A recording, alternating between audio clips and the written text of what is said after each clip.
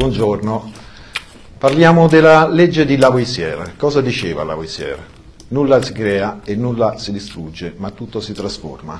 Allora io oggi voglio inculcarvi un pensiero per, un, per la prima volta.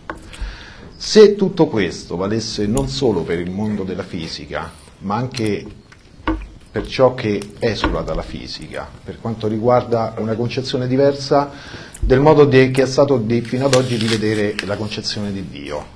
Ovvero, mettiamo che questo Dio sia formato da tutte eh, le parti di energia degli esseri viventi di tutto l'universo. Questo ci permetterebbe di tornare a una legge fisica di Lavoisier anche da questo punto di vista, quindi non è né eretico né scandaloso. In questo caso il percorso sarebbe di essere tutti quanti, comprese tutte le specie viventi, anche quelle animali, consustanziali, con questa energia che abbiamo chiamato finora Dio, da dove proveniamo e da cui ritorneremo dopo la nostra morte, eliminando un giudizio disiniquo ed una creazione discriminatoria e vedrete perché. Ma per far questo c'è bisogno di abbattere prima il Dio fin qui concepito e è possibile fare una cosa del genere? È possibile dimostrare l'inesistenza dell'inesistente?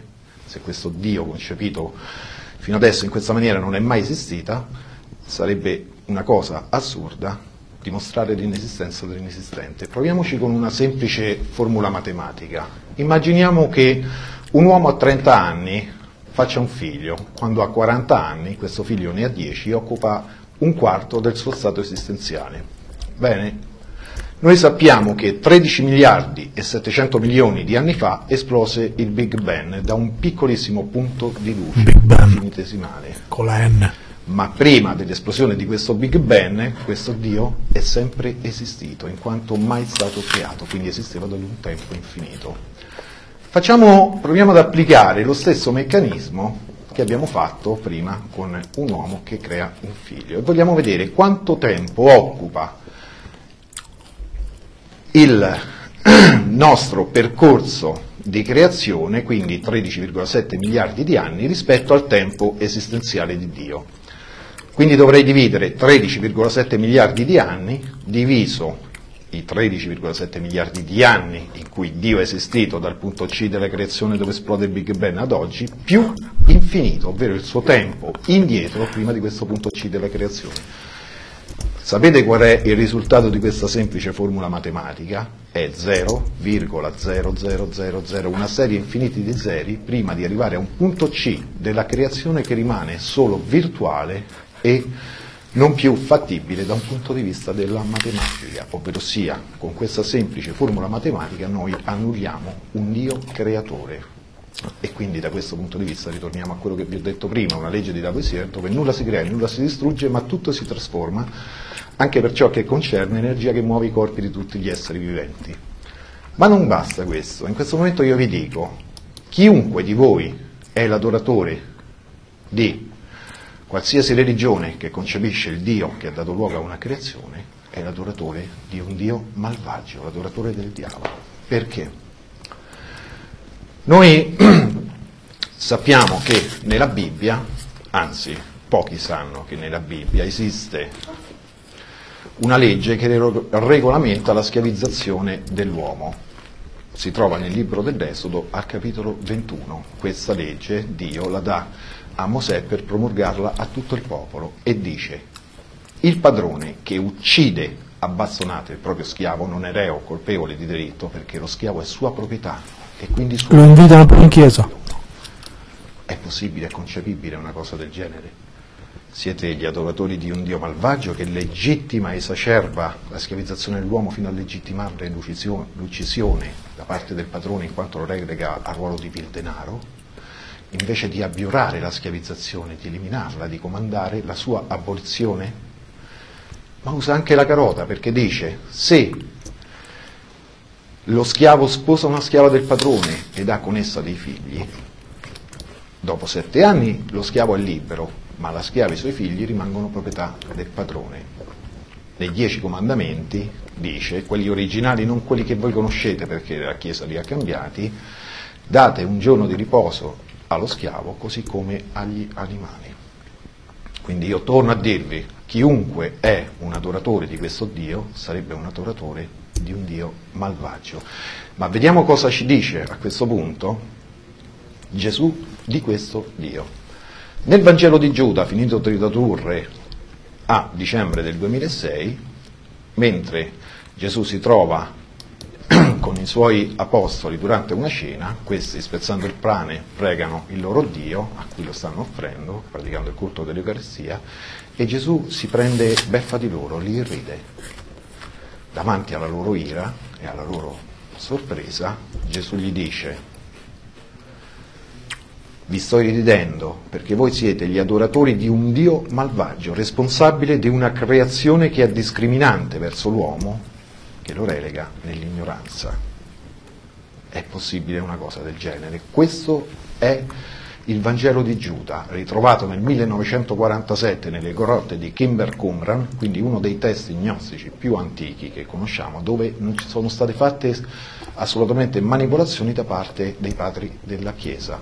Ma nel Vangelo di Tommaso, sempre ritrovato nel 1947 a Kimber Qumran, Gesù dice, noi proveniamo dal punto dove si formò la luce e tutto ebbe inizio, quasi presagendo con duemila anni di anticipo l'esplosione del Big Bang, e lì Big, ritorneremo Big dopo la nostra morte. Come vedete è qualcosa di quasi aberrante, è un ritorno a quello che vi ho detto prima, la legge di Lavoisier come se ci fosse un Dio trascendente, e a questo credeva lo gnosticismo, questa cultura religiosa, un Dio trascendente da cui proveniamo e a cui torneremo dopo la nostra morte. Tant'è che in questi due Vangeli non si parla né di resurrezione né di crocifissione da parte di Gesù, perché era importante dimostrare che dopo la nostra morte noi tornavamo al vero Dio, quello trascendente, che è formato consustanziale con tutta l'energia di tutti gli esseri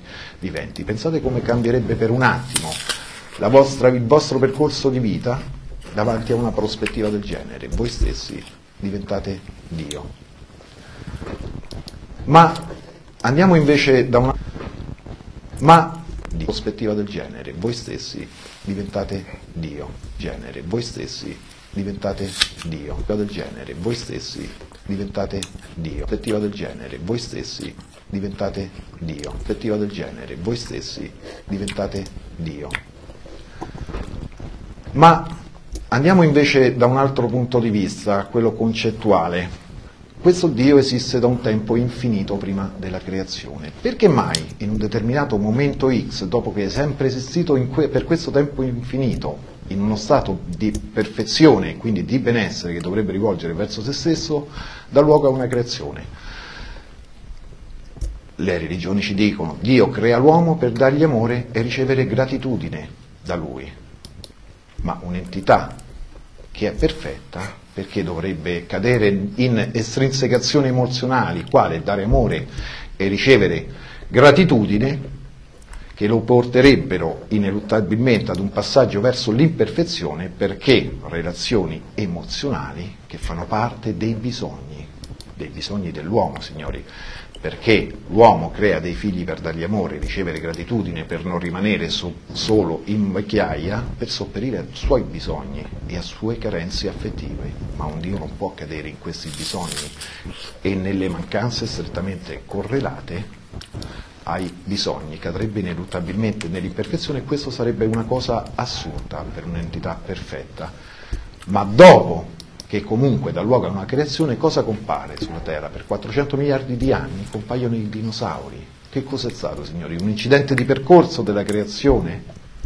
Questo Dio crea i dinosauri, dopodiché vede che non gli danno amore, riceve gratitudine da loro, forse perché questi tirannosauri pazzi scatenati l'avranno cercato di azzannarlo, per cui decide con un meteorite di distruggerli e far rinascere da una nuova linea evolutiva dai mammiferi, che parte dai mammiferi, dar luogo a una nuova creazione che arriva fino all'uomo. Sarebbe stato un incidente di percorso e un'ennesima dimostrazione dell'imperfezione del vostro Dio